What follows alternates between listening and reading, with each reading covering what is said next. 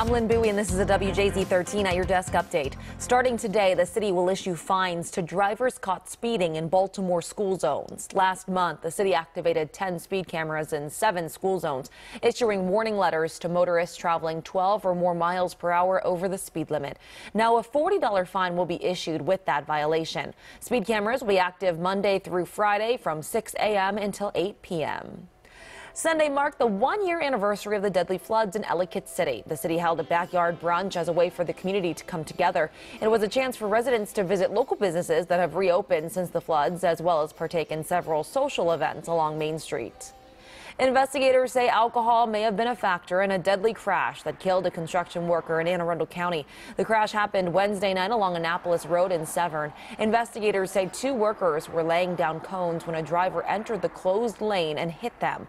One of the workers, 56 year old Walter Gonzalez Lopez, died from his injuries on Sunday. Mayor Catherine Pugh helped celebrate Baltimore's 288th birthday on Sunday. Charm City was founded July 30th, 1729, receiving its charter as the town of Baltimore.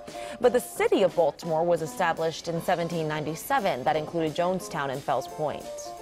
WJZ 13 is always on. Tune into Eyewitness News at noon, 4, 5, 6, and 11. For constant updates, stay right here, CBSBaltimore.com.